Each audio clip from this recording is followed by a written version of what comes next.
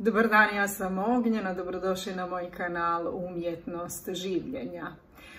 Danas ćemo malo razgovarati o narcisima, o kome drugome, jel? O narcisima, o poricanju stvarnosti, o bijegu i o prepuštanju.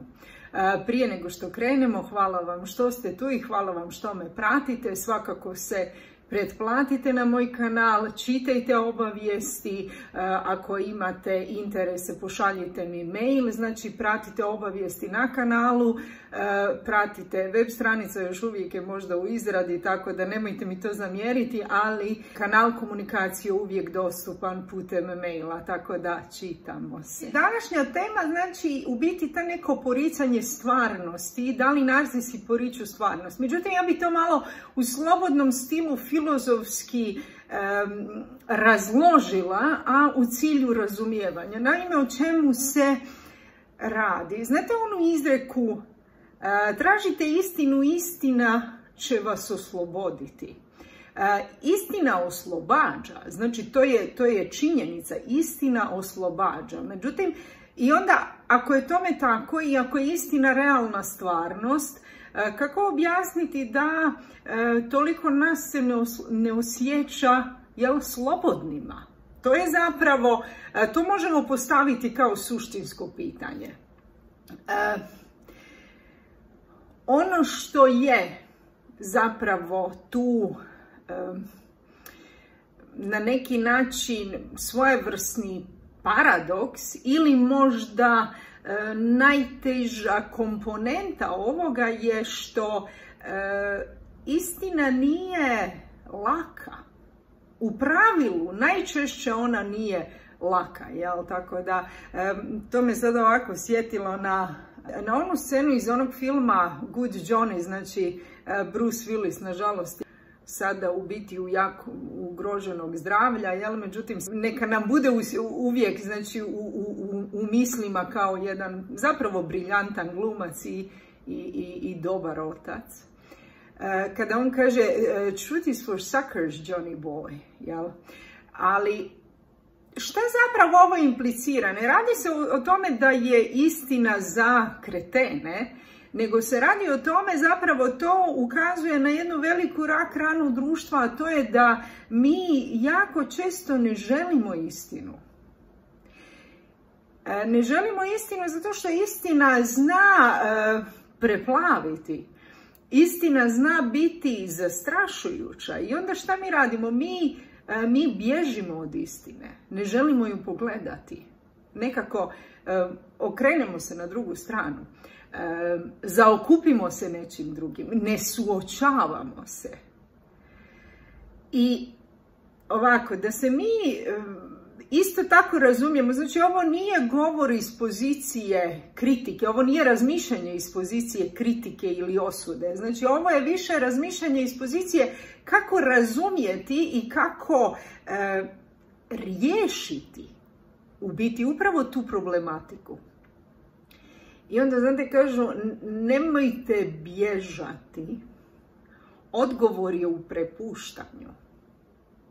I sad to zvuči ovako jako zgodno, jel? Međutim, e, e, kako to učiniti bez razumijevanja, jel? E, ne možemo mi se jednostavno, znači, nismo mi strojevi, pa da, pa da jednostavno kliknemo gumbi i kažemo, e, ok, sad neću tako, sad ću ovako. Ne ide to tako. Znači, to ide tako recimo ako ste, ako ste klaster B. Međutim, hvala Bogu pa niste. Put u to je razumijevanje.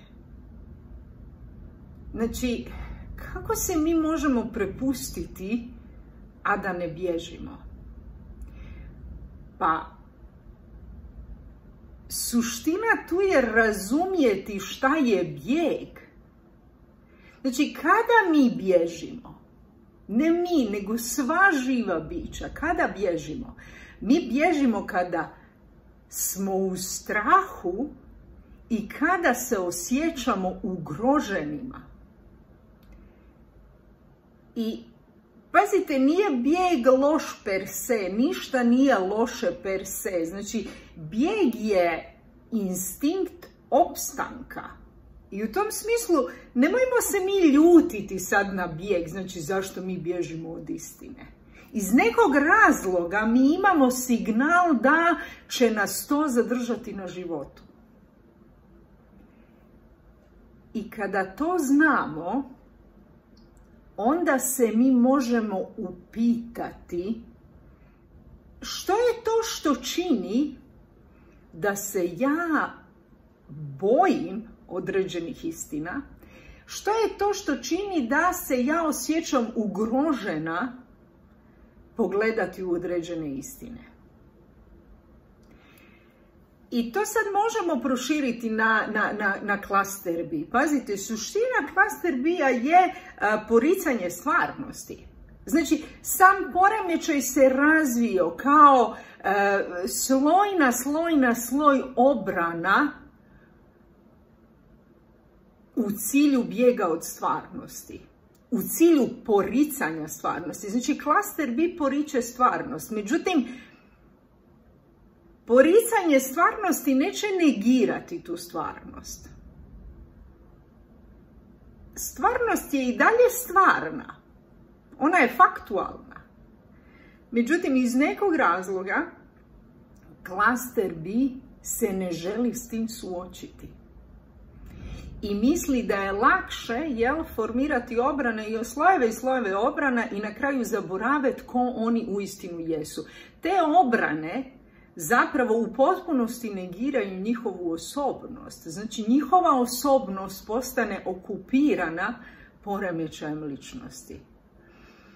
Zašto je ovo bitno razumjeti? Znači, e, nešto što se činilo i nešto što je imalo smisla možda u prošlosti kao obrana, e, u zrelosti zapravo nam više odmaže nego što nam pomaže.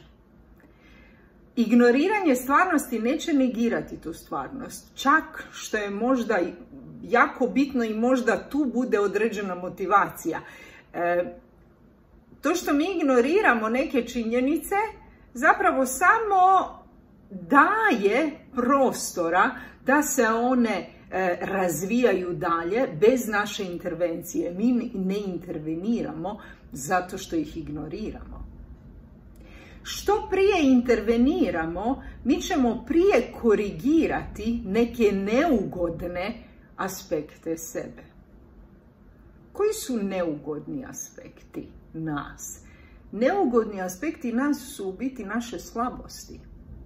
Upravo je to nešto od čega klaster B bježi. I onda iz te prizme, vidite kamo idem, prepuštati se znači prihvatiti vlastite slabosti.